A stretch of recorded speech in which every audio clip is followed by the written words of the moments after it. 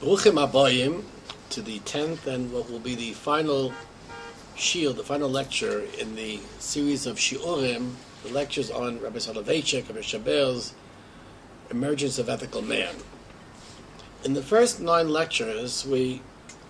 covered the basic themes and topics of the book. And we saw how Rabbi Soloveitchik has presented to us what, in fact, actually to most people, um, would seem to be a very novel understanding of not only of the of the scriptures of the Chumash, the Bible, but in addition to of um,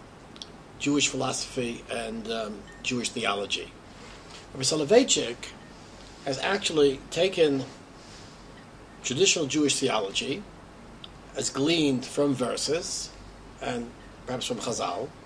and what he's done is he's expressed it in what would um, could characterize purely naturalistic terms. So even such fundamental concepts and principles of faith, such as Tchias HaMesim, the resurrection of the dead, or Nisim, which are miracles, Rabbi Soloveitchik explains in pure naturalistic terms and to use his own words without any recourse to metaphysics, and certainly not to metaphysical language. Um,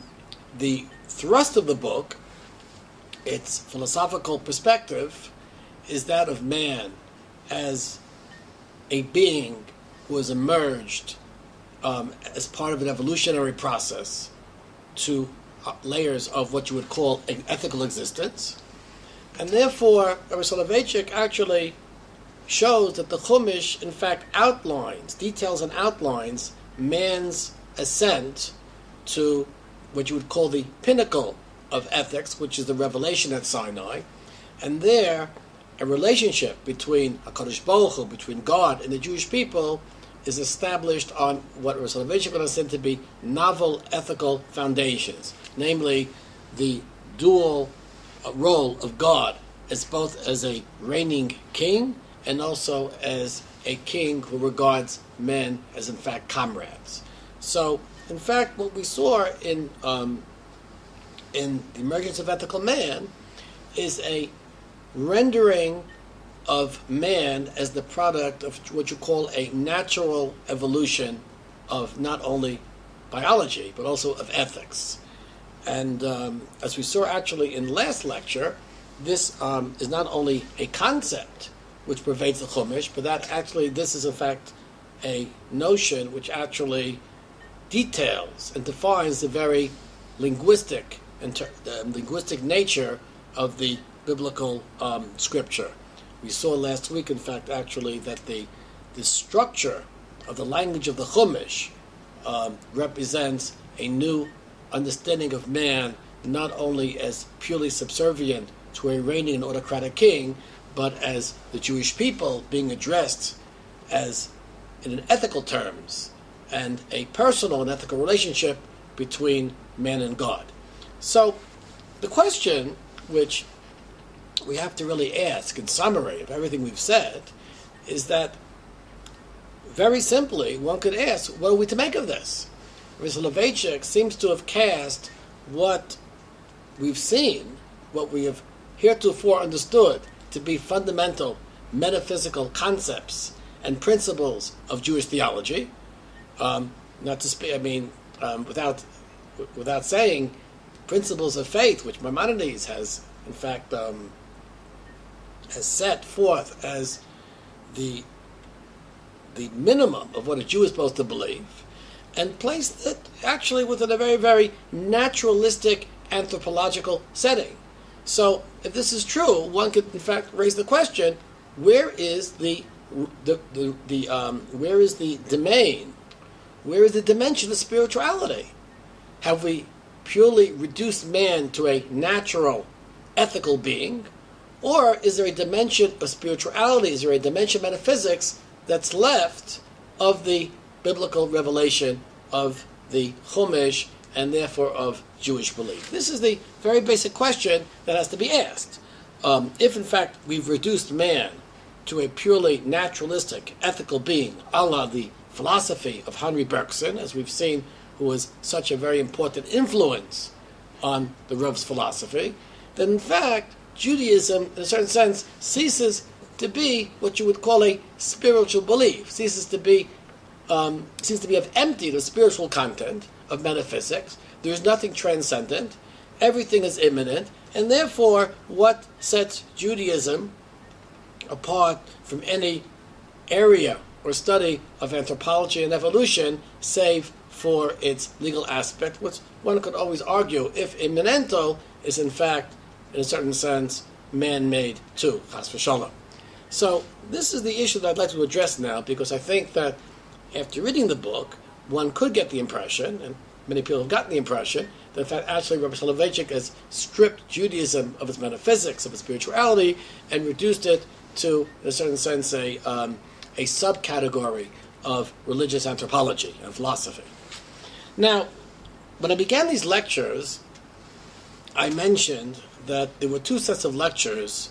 that were given to me a number of years ago one set of lectures, which I called the Blau's lecture, Blau lectures, are lectures on Genesis, and the other set of lectures, which I call the Hamnik lectures, which are which I entitled A Philosophy of Judaism. I also mentioned that there seemed to have been a um, an interface between the two lectures because the last two lectures on Genesis corresponded to the opening chapters of the lectures of Jewish philosophy and of Emergence of Ethical Man. Emergence of Ethical Man is, in fact, very, very much a book um, version of these lectures that were delivered orally at Bernard Revel Graduate School. But one could clearly see that the lectures of Genesis,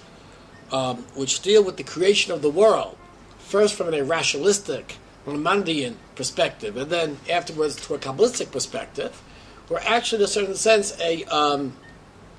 an introduction or prolegomena to the lectures on philosophy, which cast man within this naturalist setting. And the fact that the lectures of Genesis end with two chapters, which constitute the very first chapters of Emergence of Ethical Man, seems to indicate that, in fact, the two sets of lectures are not two separate, mutually uh, distinct um, topics and courses, but actually, for Rabbi Soloveitchik, constituted two parts of one whole, right? Shnaim Shem Echad. Namely, the metaphysical understanding of creation, as it in fact goes the the um, Kabbalistic, particularly the Kabbalistic understanding of creation, of reality, as it goes beyond the rationalism of the Rambam of Maimonides and the medieval philosophers, and the philosophy of Judaism, which projects us back to a very naturalistic interpretation, both of Scripture and understanding of man and his relationship to a Baruch to God. And the question is, this appears to me to be what I would say was is the what I would call the problem of having published Emergence of Ethical Man as a book in and of itself. One gets the impression that Soloveitchik sat down to cast Judaism in anthropological, naturalistic terms, when in fact, in my opinion, the book Emergence of Ethical Man is actually originally part of a larger work which encompasses both the Kabbalistic lectures on Genesis and also to the naturalistic setting and philosophy of the lectures on philosophy, which, as I said in book form, represent the emergence of ethical man. What, in fact, therefore, can we say about Rabbi Soloveitchik's philosophy and the vision of Judaism and of Torah, of Scripture, and of the halacha, which he, proje- which he projects, given this um, the unity of these two halves, of these two parts of one whole. Now, as is known, and I think I mentioned this in one of the lectures. Reb Tzadok, in um, several places, makes a very strong connection between what we would say Kabbalah and also between Greek philosophy. For example, in the Likutei Ma'amorim, in the standard version in Hamad Aleph, Reb Tzadok says that the entire Chachma of Rab Shimon Yochai in the Sefer Zohar was known by what the the, the Sabe Atuna, the the elders, the wise people of Athens, which the Gemara speaks about in Mesachas um. And in fact, actually, the um, Greek philosophy, Greek natural philosophy, is a type of a garment, a lavush, um, for, in fact, the secrets and the ideas of the Kabbalah. He repeats this in other places too, Machshavas Charutz, Daf Chafam and Aleph, Likutei Ma'amorim, Dav Membezim and Aleph. The Tzadik's understanding is, is that Greek philosophy is to be considered what we call a chitzonius, an outer garment, the pnimius, the inner essence of which is um, the um, Sisra Kabbalah, the secrets of the Kabbalah. Meaning is that what I understand that I want to actually expound upon Reb Tzadok's remarks, that in fact one can understand Kabbalah, of course, as certainly as Rabbi Soloveitchik um, portrays it in the lectures of Genesis, the um, the Ilan Hakadosh, the emergence, the revelation of the worlds, is in fact not only something which is a hierarchy, a static hierarchy, but in fact actually is a process. Rabbi Soloveitchik, for example, in his description in the lectures on Genesis of the Shabbos, of the Sabbath, speaks about the um, the three meals, the three seudos of the Shabbos, as representing different stages in Kabbalistic revelation. Um, and the theme, really the theme is the dichotomy between what he calls ontology and ethics, um, determinism versus human free will. Um, Rabbi Soloveitchik understands that the theme of the Shabbos, which um, supposedly ends in a the final highest world, which is the world of Arich, the highest worlds of unity, represents the historical movement which takes the two movements, the two aspects of ontology and ethics, scientific determinism versus um, human free will, and the ethical relationship with God,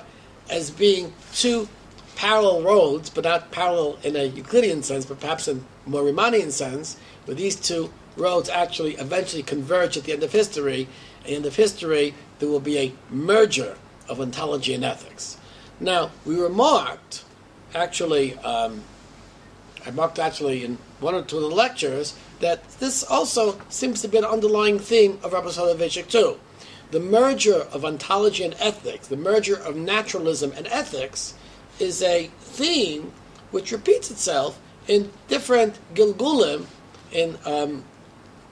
um, different expressions um, within the entire work. So the fact is, is that it's clear from understanding the two works in perspective one to another, that in fact Rabbi Soloveitchik, right, would have probably said that um, that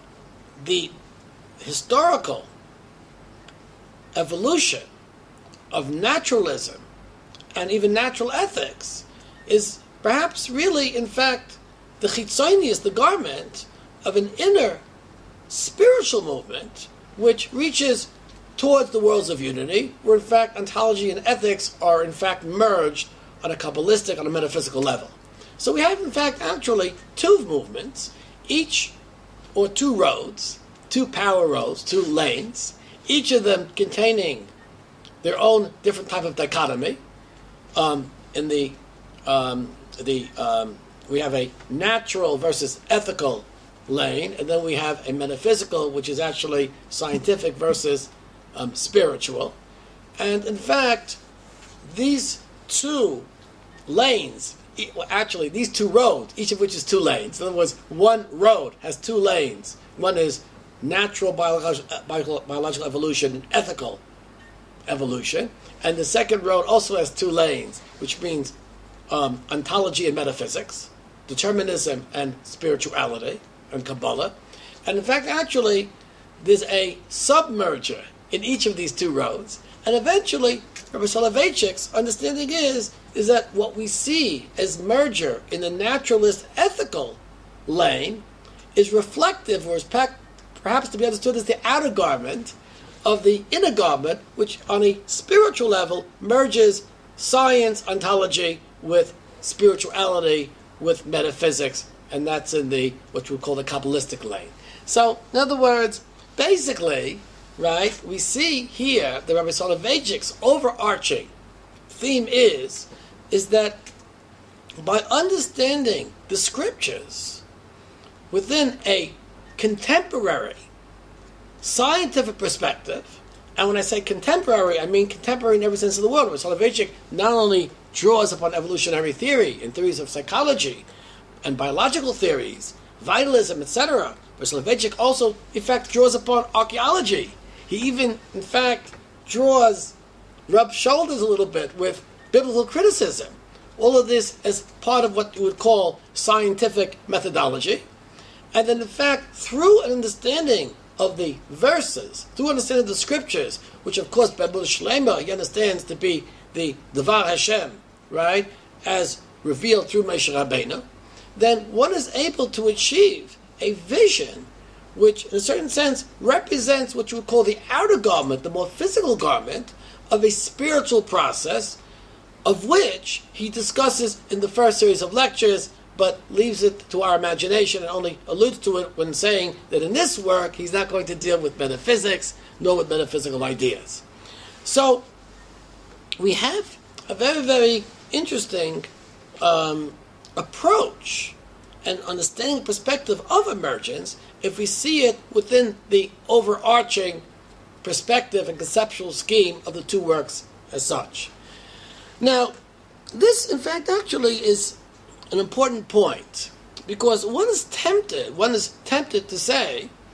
that the emergence of ethical man should be understood perhaps as a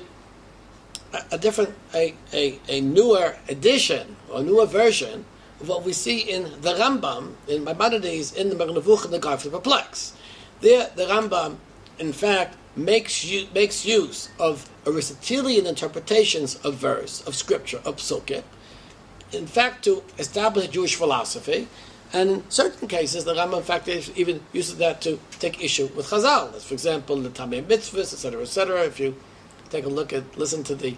hashkafacircle.com shiurim on the um, on the Mernevuchem, this um, this usage of the Rambam of combining a Aristotelian interpretation of verse actually is a major tool and theme in the guide. So, for sure, this is something which Rabbi Soloveitchik accomplishes in Emergence of Ethical Man. This, of course, um, has precedent um, not only in the Rambam, but also in medieval Jewish philosophy. Um, the Chovos HaLevavos, in his introduction, um, says that in matters of hashkafa, one does not actually have to submit to Sanhedrin, but rather one could rely upon what he calls tradition, Mesorah, and Seichel, and intellect. What he means by tradition and intellect is not necessarily so clear, but Rabbi Soloveitchik would certainly say, if he was speaking, that intellect represents the scientific understanding of the world, and tradition certainly would include the scriptures, the Chumash. So therefore, a modern scientific interpretation of the scriptures actually combines what the HaLevavos calls intellect and tradition, and in so doing represents a bona fide Jewish philosophy. However, one cannot deny the fact that after the revelations of the Kabbalah, the Gilui of the Ari in the um, 16th century, then for sure, to go back to medieval um, Jewish philosophy would in fact ignore and perhaps even undermine the entire thrust of Jewish thought, of Machshava, as in fact is, has been expressed for the last four or five hundred years. And Rabbi Soloveitchik is certainly not one to um, is certainly one who would certainly acknowledge this, as is clear from everything else he says in all his different works, and certainly in the lectures of Kabbalah and lectures on Genesis, which I spoke about, where Soloveitchik actually, in fact, I wouldn't say criticizes, but in fact, actually, in different places, adds a critique of the Rambam, but in fact, Kabbalah represents what you would call much more of an authentic Jewish philosophy. Given the fact that Soloveitchik understands that Kabbalah represents a more authentic Jewish philosophy, how could it be that in the Emergent Ethical Man, he reduces things to very naturalistic, rationalistic um, interpretations, ignoring the metaphysical processes and aspects and concepts which are at the core of Jewish thinking? The answer is that Rabbi Soloveitchik, in my opinion, understands that Jewish philosophy is an overarching union of what are these two separate roads, which we might pursue them independently, but at the very, very end, like Riemannian parallel lines, they exist in non-Euclidean space. Namely, that one can pursue the Bible, one can pursue the Chumash in terms of modern scientific understanding, archaeological understanding, even, I wouldn't say chas v'shalom, biblical criticism, but the techniques that are used by um, those who study the Chumash in understanding the structure of the language, as in fact um, it was spoken at that time, and with the full knowledge that the interpretation thereof of the Chumash ultimately,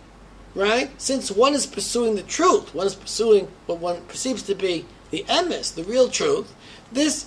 um, will be none other than the outer garment which is revealed by the revelations of the spiritual worlds of the Kabbalah, which lends itself to a metaphysical understanding of these same natural concepts in terms of spiritual worlds. So I think really the book, Emergence of Ethical Man, to be properly understood, right, has to be understood in conjunction with Rabbi Soloveitchik's Kabbalistic understanding of creation, which awaits to still be published in um, the lectures of Genesis, the Blau lectures, in Mitzvah Shem. Maybe one day we'll try to have that published too, and therefore the two both can be actually published together, and one could see this incredibly overarching vision of Rabban Shah Yisrael of Yeshaber Soloveitchik. Now, I mentioned in a few places, which I think is important, is that there are actually very interesting points of connection between Rabbi Soloveitchik and Rav Kook. Um, for example, regarding the influence of Bergson and the vitalism of nature, which is a source of um, of understanding the um, the nature of the physical world and how it relates to man spiritually. Um, in addition to that, we find actually in the Shemonah Kevatzim of Kook, that means the lectures or the notebooks of Rav Kook that were published posthumously, they were actually actually published last year, a few years ago, and there also, in addition to the vitalism which Rav Kook saw within nature, um, there are actually sections of that work. I'm not going to actually read a few now. I'm going to maybe we'll save that for another series of lectures on hashkafacircle.com. There actually, it's very interesting that in one or two of the pieces, Rav Kook actually presents a theory of Techias HaMesim, of the resurrection of the dead, um, as being a type of a historical influence, a transgenerational historical influence um, and mark across generations, which is very, very similar to that to which Rabbi Soloveitchik presented in um, The Emergence of Ethical Man. My inkling is is that actually we have Shnei Nevi'im, two prophets, that are being misnabe, even though there's two signoinim with two different styles, nonetheless, it seems to be that they'll be mechav and they're coming to actually, um, they're coming to actually the same type of conclusions. That natural, that science, that modern science, right, can be incorporated within an overarching view of Jewish spirituality, which not only does not represent any type of an inherent contradiction to the inherent metaphysical and spiritual vision of Judaism, but rather, in fact, represents um, a physical dimension which is part and parcel of it. Um, it's interesting how these two thinkers, one would think, really don't have really very much in common. Rabbi, Soda, Rabbi of Kook is really understood. Really, people think of him as more of a, a mystic, even though he was quite a well-read mystic. Rabbi Soloveitchik, the um, the the, um, the pinnacle of rationalism, right? And um, we speak. I mean, we spoke about Hermann Cohen and Kant as being major influences, Soloveitchik's thinking, um, not very very far philosophically a afield from the um, the thought of Reb Soloveitchik, his grandfather, Reb Chaim Volozhin. We spoke about all these influences. Um, the fact is, is that we see that we have two individuals, two Gedolei Yisrael, who, in their philosophy of Judaism, were able to incorporate a wide range of contemporary and modern thinking, and were able to use it not only in terms of apologetics, but actually to actively use it as part and parcel of their spiritual vision, which they understood to be the vision and perception in which the Torah looks both at the world, both at HaKadosh Baruch Hu, and both at mankind. So we've there are very interesting parallels between them,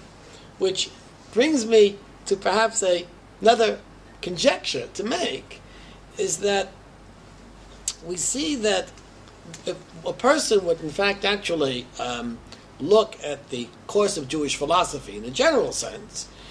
the um, if we understand that, let's say, what we call quote unquote standard Jewish philosophy begins with the medieval rationalists. I mean, the, probably the first work of philosophy one could think of as being a work of philosophy, strictly speaking, is of Saadia which is the begins the medieval Jewish philosophers,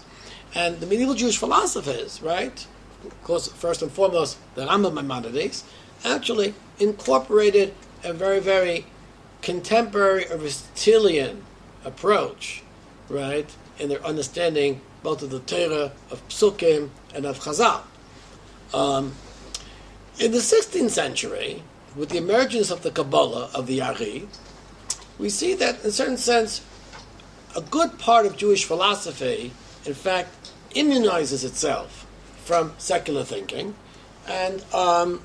the Ari basically brings Jewish philosophy within to itself, independent of the um,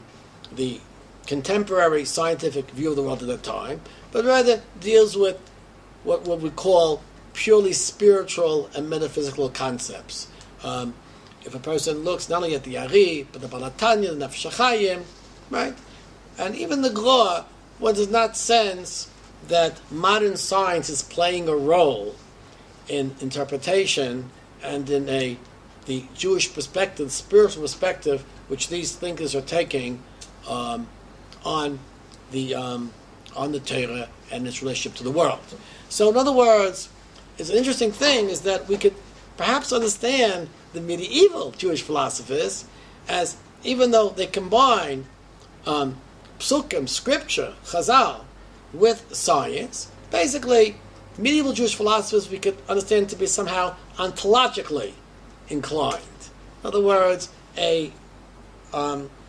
a view of Judaism which is completely commensurable with contemporary science, which at that time was Aristotelian theory, or Plato, or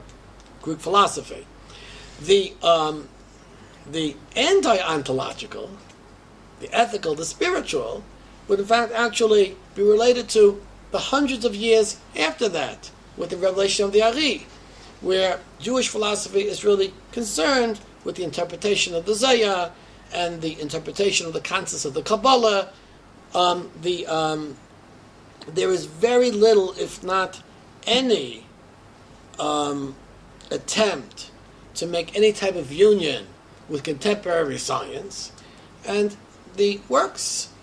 even of the Ramchal, the Chaim Volozhiner, and the Baal HaTanya, are concerned purely with interpretation of the Ari's metaphysics. So we have over here, in a certain sense, Jewish philosophy itself imitating,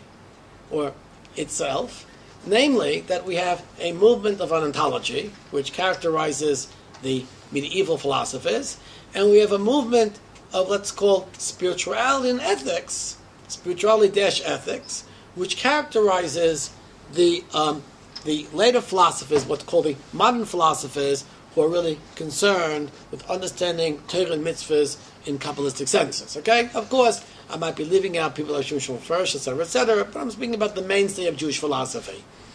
It would seem that the 20th century brings about this somehow mergence, the merger of ontology and ethics, of scientific determinism, and Kabbalistic spirituality in the philosophies of Rabban Yisrael, of Yosef and Haraya Kook, Zekat both thinkers who are, of course, familiar with contemporary science, contemporary thought, and also familiar with not only Jewish philosophical, rational concepts, but also familiar with the Kabbalah, are seeking to create this merger of ontology and ethics. In other words, life imitates art here. Life imitates philosophy. Jewish philosophy itself, which seeks to merge the ontological and ethical, it itself is part of a philosophical movement, which in fact, um, through the process, through the history of ideas in Jewish philosophy,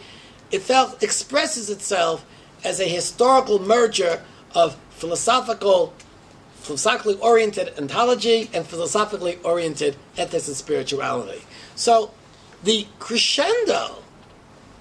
I wouldn't say the end, but this merger of Jewish philosophy, of Jewish thinking, in my opinion, is represented really very, very well with these two 20th century figures who, in fact, in the philosophies, tried to offer an overreaching, an overarching view of Jewish thinking, which straddles both the naturalistic and scientific worlds of contemporary science and philosophy, together with the traditional Kabbalistic view of the world as being expression of an inner metaphysics, which constitutes the pnimius, the spiritual essence of this scientific um, scientificism. So with this, we could really see that, in fact, the emergence of ethical man represents, in a certain sense, a watershed in Jewish philosophy. Um, of course, the story doesn't end here because the challenges of um, it's very, interesting.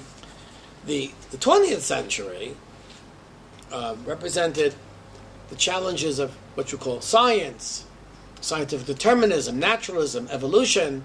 as being a very, very important challenge for traditional fundamental Jewish beliefs. Rabbi Soloveitchik touches upon a little bit upon archaeology, um, a little bit upon what's called biblical criticism. However, my understanding is is that the archaeology with which Rabbi Yoshe Soloveitchik had to contend with was as certainly as he expresses it in the emergence of ethical man, is largely supportive of a lot of his theses, and there isn't major conflict and controversy that he has to deal with. Um, there is a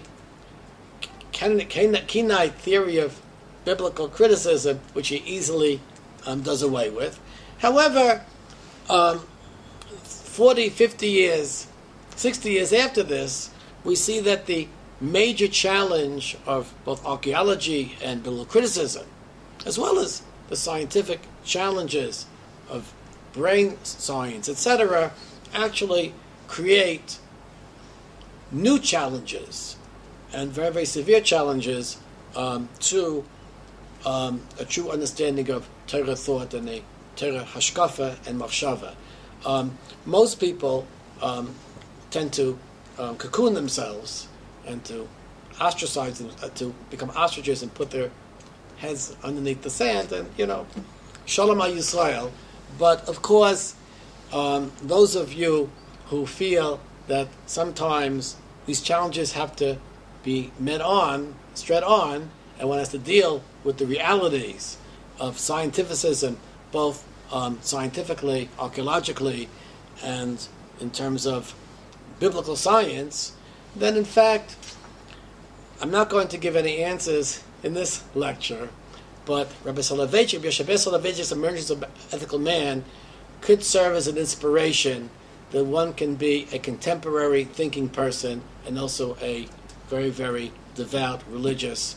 um, Jew. So, with this, I think we're going to end the lectures of the emergence of ethical man. Um, we can go on. I think that what I would recommend, those of you who have not read the book, you should read the book. And of course, I'll be very, very willing to hear your comments, intelligent comments and criticisms if you take contention of any of my interpretations. But certainly, The Emergence of Ethical Man, in my opinion, is a must reading for anyone who really wants to look at how a Gadol BaTorah and a person who is thoroughly conversant with modern science and modern thought um, merges this and creates a Weltanschauung, a hashkafa, a philosophy of Judaism, in which he can remain um, true to the Torah and true to the belief of his forefathers. From an undisclosed location in Yerushalayim HaKodesh, be well and kol tov.